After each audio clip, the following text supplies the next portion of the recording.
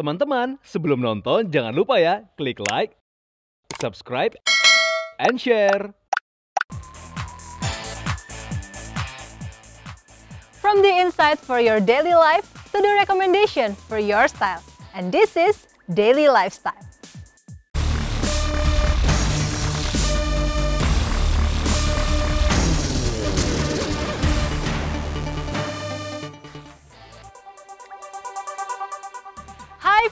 Viewers, welcome to Daily Lifestyle bersama aku Natasha Liotania.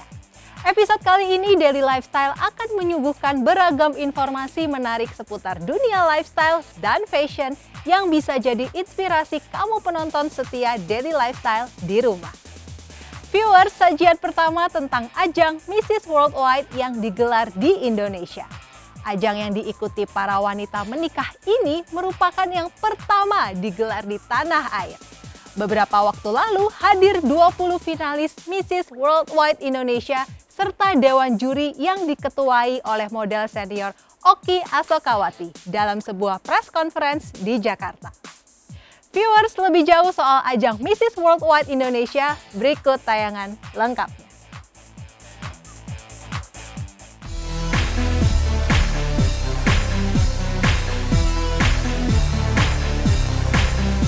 Viewers, untuk pertama kalinya ajang Mrs. Worldwide Indonesia 2022 digelar di tanah air.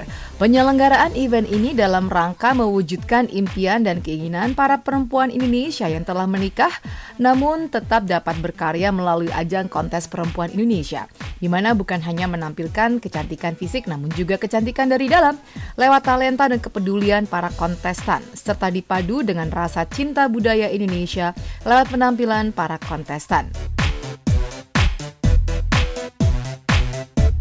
Beberapa waktu lalu, pihak penyelenggara Yayasan SK sebagai pemegang lisensi acara Mrs. Worldwide Indonesia, para juri yang diketuai oleh Oki Asokawati dan 20 orang finalis Mrs. Worldwide 2022 hadir dalam sebuah press conference di Jakarta. Acara Mrs. Worldwide Indonesia ini untuk mendukung para-para ibu-ibu, perempuan-perempuan yang ingin tampil dan juga berkreasi berkreasi di acara ini, saya melihat semua para finalis ini sangat antusias, semangat, dan juga mereka sudah melakukan berbagai pelatihan dan kursus tentunya yang dengan talent-talent mereka dan juga mereka sendiri juga sudah melakukan um, research bagaimana menjadi pemenang di acara beauty pageant. Penilaian kita itu penampilan di 30% tentunya dan selebihnya itu mungkin dari um, dari background, dari pendidikan, dari uh, knowledge dan juga um, dari wawasan ilmu mereka seperti itu. Harapan saya, um, harapan Yayasan SK juga tentunya kita akan membawa uh, para para pemenang Mrs. Worldwide Indonesia dan juga 20 finalis uh, dengan secara rutin um, melakukan uh, bakti sosial dan juga pengobatan gratis kepada masyarakat yang membutuhkan.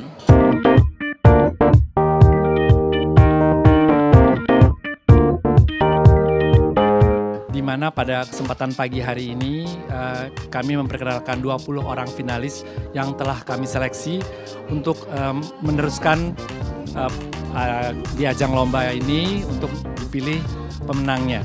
Acara hari ini puji Tuhan alhamdulillah berha, uh, berjalan dengan lancar dan menyenangkan dan mengembirakan buat semuanya. Dan uh, kedua puluh orang finalis ini saya sungguh bangga menjadi salah seorang juri karena akhirnya kami berhasil memilih 20 orang perempuan Indonesia yang uh, bukan hanya oke okay penampilannya ya karena ini sudah misis ya. Jadi uh, memang apa namanya kategori penilaian fisik tidak menjadi penilaian utama tetapi mempunyai personality dan karakter yang sangat uh, membanggakan dan bisa menjadi inspirasi bagi wanita-wanita Indonesia uh, yang lainnya. Ajang Mrs. Worldwide Indonesia 2022 mendapat respon positif dari masyarakat terbukti dari ratusan formulir yang masuk ke pihak panitia penyelenggara. Kemudian penyelenggara bersama Dewan Juri secara selektif dengan berbagai pertimbangan akhirnya memilih 20 perempuan Indonesia yang masuk sebagai finalis Mrs. Worldwide Indonesia 2022. Menurut saya acara Mrs. Worldwide ini sangat bagus sekali ya. Bisa menjadi wadah bagi kami wanita-wanita yang sudah menikah dan mempunyai anak uh, yang ingin uh, mewujudkan mimpinya waktu muda, akhirnya kesampaian bisa mengikuti acara beauty pageant dan semoga bisa menginspirasi wanita-wanita yang melihat kami, wanita-wanita uh, yang sudah menikah ingin juga seperti kami dan juga berani untuk mewujudkan mimpinya sendiri. Harapan saya tentunya adalah um, menjadi pemenang ya untuk uh, Mrs. Worldwide uh, Indonesia yang pertama dan juga akan menjadi wakil Indonesia di Mrs. Worldwide uh, Global. Terima kasih. Uh, menurut saya ajang Mrs. Worldwide ini sangat amat membantu para perempuan Indonesia yang ingin lebih berkarir lagi di kemudian hari. Dan ini mencerminkan uh, bagaimana partisipasi wanita di kemudian hari akan lebih ditonjolkan lagi. Karena kita tahu bersama keluarga ber, berasal dari ibu yang akan selalu mensupport anak-anaknya. Dan perempuan Indonesia adalah perempuan-perempuan yang sangat amat uh, berprestasi di bidangnya masing-masing. Dan saya berharap dengan ajang ini akan menambah perempuan-perempuan melahirkan perempuan-perempuan baru yang bisa berdedikasi untuk bangsa Indonesia. Uh, persiapan sendiri saya mengikuti jadwal dari Miss Worldwide, Mrs. Worldwide 2022 yang pasti uh, harus stay fit ya karena jadwal padat dan kita tetap uh, tetap uh, apa namanya kita tetap kerja gitu kan tetap ngurus anak jadi ya stamina yang harus tetap dijaga sih.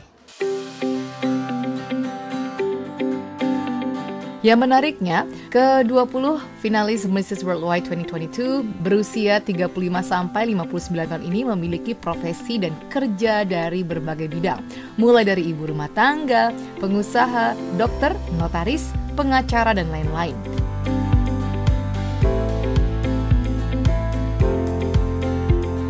pendapat saya tentang uh, acara hari ini. Acara ini seperti tadi disebutkan oleh Ibu uh, Ketua Dewan Juri Ibu Oki, acara ini adalah pertama kali diselenggarakan di Indonesia. Sa menurut saya sangat sangat sangat baik karena selama ini ibu-ibu uh, tidak mendapatkan ajang untuk lebih meluangkan diri atau meng, uh, mengekspresikan diri bahwa ibu-ibu ini dengan usia yang seperti ini uh, yang udah lanjut pun bisa berkreasi, bisa berkarya, bisa do others, bisa uh, seperti yang muda-muda tidak kalah dengan yang muda-muda.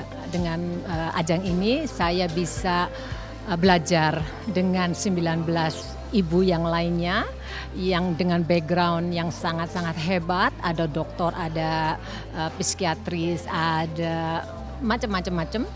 Dan tentunya buat saya sangat uh, uh, berguna untuk kehidupan saya yang lebih baik. Dan tentunya saya uh, bisa uh, ber, berbagi atau sharing apa yang saya punya, apa yang saya pernah uh, dapatkan selama ini.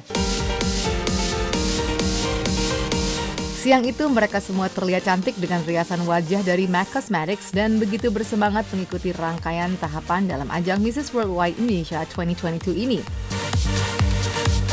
bentuk dukungan MAC, uh, kita uh, sebagai sponsor makeup untuk para finalis supaya hasil makeupnya supaya untuk hasil looknya itu lebih cantik gitu kak. Untuk para finalisa sendiri untuk makeupnya memang dasarnya udah cantik ya, jadi kita juga tampilnya supaya lebih lebih cantik lagi dan uh, pastinya untuk uh, hasilnya itu lebih cantik yang glamour gitu loh kak. Kalau untuk warna-warnanya sendiri kita menggunakan warna-warna pastel sama warna-warna bergendi. Jadi untuk apalagi kalau misalkan bagian mata, nah kita lebih menonjol di bagian mata yang looknya tuh lebih cantik. Oh kalau untuk warnanya pasti ada beda. Paling untuk kita tambahin sedikit glitternya lebih terlihat lagi. Lipstiknya kita bikin lebih kayak bold lagi sama lebih terang. Usai mengikuti press conference, ke-20 finalis Mrs. Worldwide Indonesia 2022 ini kemudian menjalani kegiatan berikutnya, yakni photo session. Mereka tampak sangat menikmati aktivitas yang satu ini, di mana para wanita cantik ini tampak begitu luwes dan rileks melakukan pose sesuai arahan pengarah gaya dan fotografer. Saya suka akan tantangan. Terus terang ini e, mengajarkan saya untuk berani keluar dari comfort zone saya, dari aktivitas saya sehari-hari. Dan saya berharap dengan ikutnya kegiatan ini, saya akan mendapatkan banyak pengalaman dan memperluas e, jaring pekerjaan. Harapan saya, saya dengan saya mengikuti kegiatan ini, paling tidak saya bisa menginspirasi untuk ibu-ibu di luar sana yang kemungkinan mereka masih ada mimpi untuk menjadi Mrs. Worldwide mereka bisa mengikuti ajang serupa di event kontes kecantikan seperti ini. Uh, sudah pasti uh, atas dukungan dari keluarga, terutama suami yang mendukung 100%, kemudian komunitas-komunitas saya, komunitas saya, ada komunitas perempuan pelestari budaya, dan kebetulan karena saya juga istri seorang dokter, ada komunitas Ikatan Istri Dokter Indonesia yang begitu mensupport kegiatan ini motivasi saya adalah untuk merepresentasikan uh, wanita Indonesia, khususnya ibu rumah tangga di dalam apa mengikuti event ini. Harapan saya secara pribadi yang pasti menang ya, terus uh, mempunyai uh, wawasan lebih luas, terus uh, mempunyai link dan kita memiliki empati yang besar terhadap uh, lingkungan sekitar. Motivasinya walaupun kita sudah ibu-ibu tetap harus semangat, tetap harus memiliki uh, rasa uh, tanggung jawab yang tinggi, rasa sosial yang tinggi, apa uh, membantu sesama. Terus dalam khususnya dalam rumah tangga kita mendidik anak-anak kita memiliki karakter yang baik, memiliki karakter yang berguna, menjadi anak-anak yang berguna bagi banyak orang. Itu sih.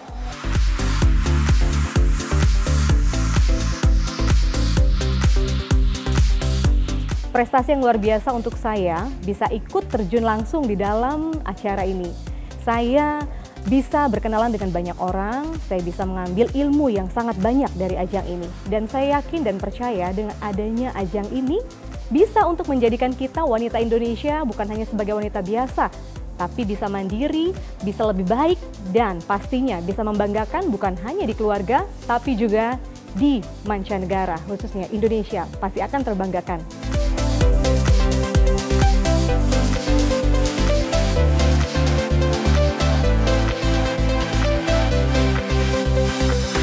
Motivasi saya yaitu saya ingin semua wanita Indonesia menjadi kuat.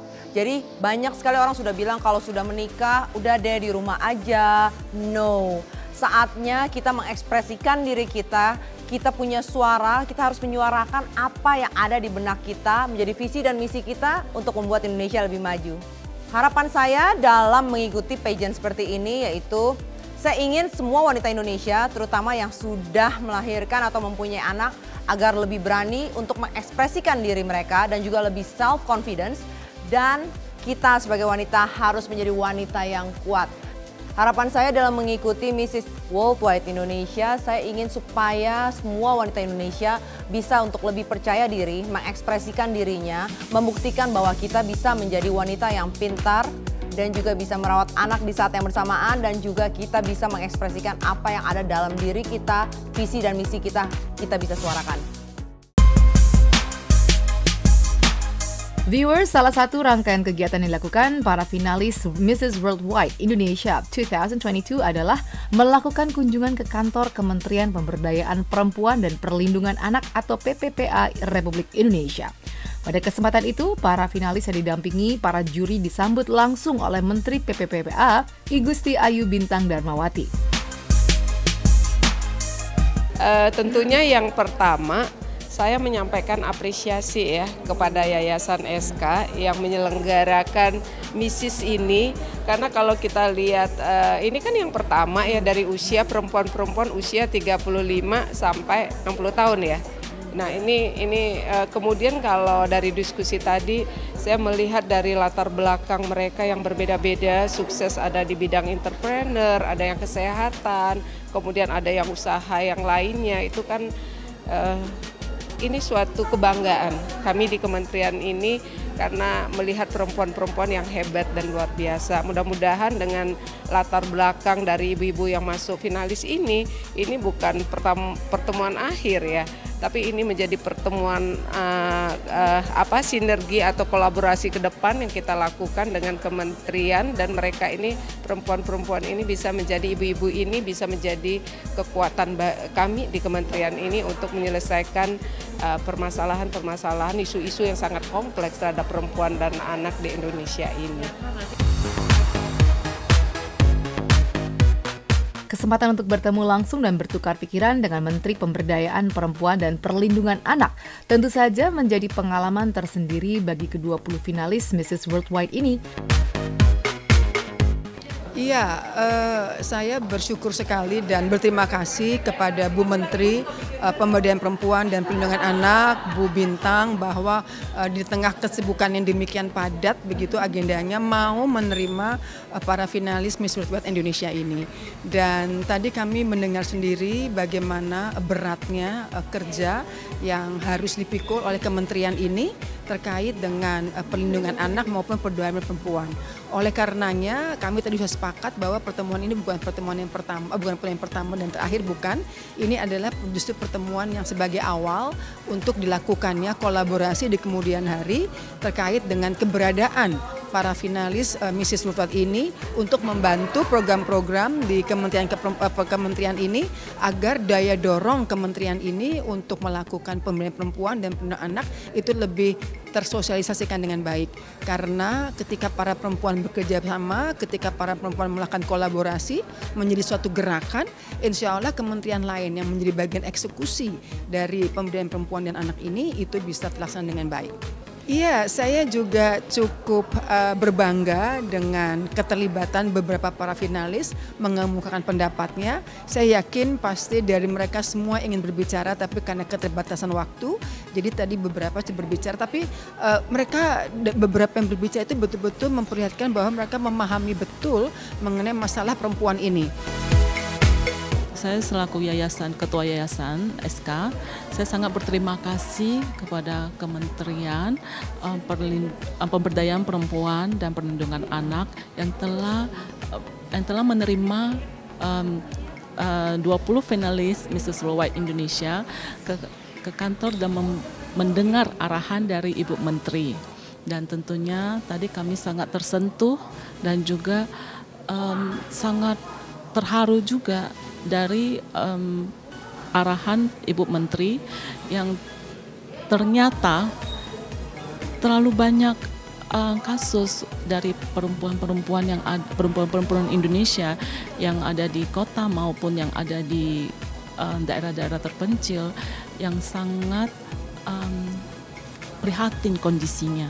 Dan tentunya itu sebagai PR dari kami sebagai perempuan-perempuan Indonesia dan tentunya dari ajang Mrs. Worldwide ini tentunya harapan saya juga dan harapan dari uh, finalis 20 finalis tersebut akan memberikan yang terbaik untuk perempuan-perempuan Indonesia untuk memajukan bangsa dan negara Indonesia.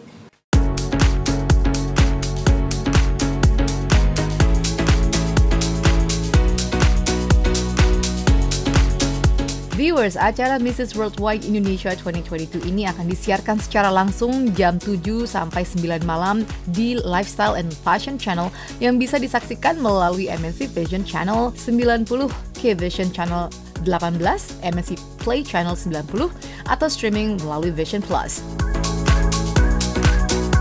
Adapun malam final Mrs. Worldwide 2022 akan digelar tanggal 23 September 2022 dan akan menampilkan Diva Krisdayanti dan Novia Bahmit serta acara dipandu oleh Tommy Cokro dan Natasha Manuela. Nantinya pemenang pertama dari acara Mrs. Worldwide 2022 ini akan dikirim ke Singapura untuk mengikuti kontes berskala internasional yang diikuti oleh 60 negara, yaitu Mrs. Worldwide 2022 pada tanggal 26 Oktober 2022. Sedangkan pemenang kedua akan dikirim ke ajang serupa yaitu Mrs. Globe Universe tahun depan.